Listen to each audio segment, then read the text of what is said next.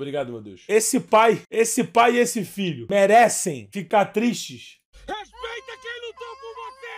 Respeita quem lutou por você! Pô. Espírito, espírito! Que desce como fogo! Que come Pentecoste! Ele, vai... Ele tá rebocando o moleque. Ele tá içando o moleque, pô. Parece um carvalhão. Esse vigilão! Respeita quem jogou, quem lutou, viveu! O Zé... O Zezeu, cara, ele não tá entendendo mais nada, velho. por você! Respeita o Vasco! Vem, vem, pra comprar pizza, hambúrguer, chocolate! Não vai pra aula! Vai pra caralho! O Vasco sobe, porra! Cara, cara coitado. Ah, Zezé! Respeita Cara, olha isso aqui, cara. Olha esse.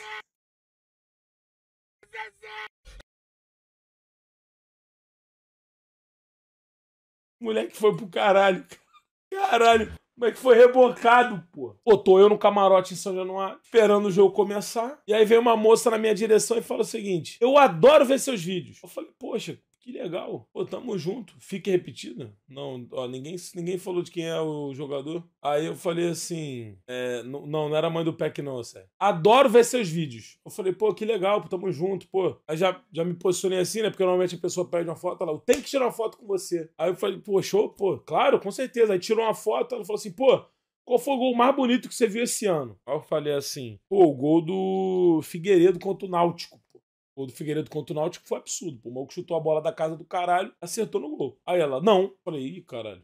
Errei, pô. Eu falei, pô, então o gol do Figueiredo contra o. contra o Bahia, pô. Aqui em São Januário também. Bonito gol do Vasco. Ele dá-lhe uma porrada. Aí ela, não. Falei, porra, já tentei duas vezes.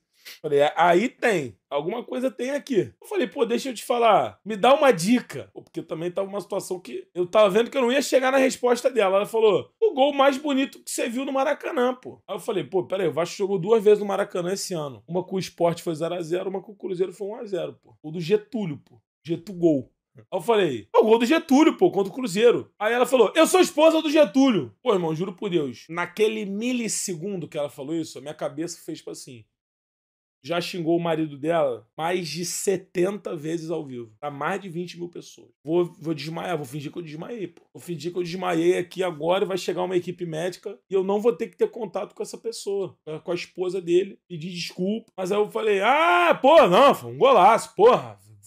E eu comemorei pra caralho esse gol. E é verdade. E aí ela foi embora. Falou, ai, poxa, pô, tamo junto. Falei, tamo junto. Aí eu fiquei pensando nessa porra depois, qual é? Pô, mano, tu chega aqui na live e fala, vai tomar no cu, fulano, não dá pra jogar no Vasco, tá ligado? Pô, de repente tu tá a um passo com a esposa de uma mãe, de um filho, de uma filha, ver um vídeo desse. Pô, bate uma tristeza do caralho, né? Ó, porra, pô, mano.